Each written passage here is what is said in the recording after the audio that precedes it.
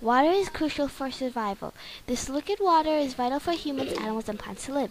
The human body is made of two thirds of water. We could go for a month without food, but you will die after three to five days without water. About 97 of the water on Earth is found in oceans and seas and is too salty for us to drink.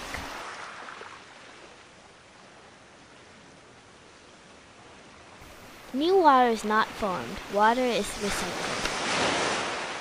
Only 3% of the Earth's water that is fresh is found in rivers, lakes, and glaciers. Actually, only 1% is available for us to use in our everyday lives.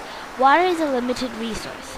Did you know that the water you, that you bathe in is the same water that rained down 200 million years ago?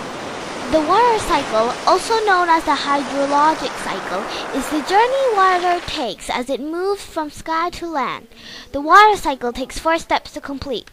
The first is evaporation. Evaporation means that the water rises up into the sky and the dust in the air makes it form into vapor. Second is condensation. Condensation means that the vapor rises up and either joins a cloud or forms a cloud of its own. When a cloud is too heavy to carry the vapor, it starts to rain, sleet, hail, or snow. That is called precipitation. Next is collection. It means that the rain, sleet, hail, or snow goes to places that have water. Otherwise, they form their own puddle. We use water to do a lot of things. We also need water to live.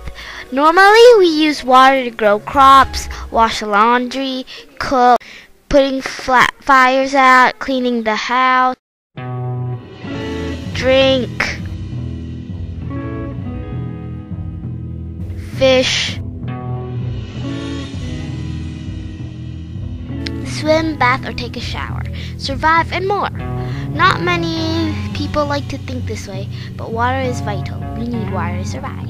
Cause and effect. One example is that when farmers use chemicals to spray on plants they grow, when it rains, the chemicals mix with the rain and flows down to rivers, which the effect is shown as polluted water.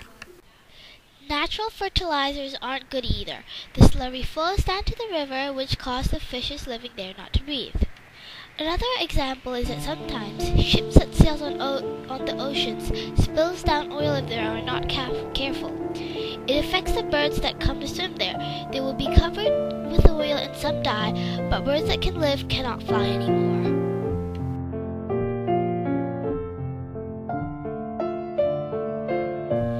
As you can see, water is a vital resource. It's time to start protecting water.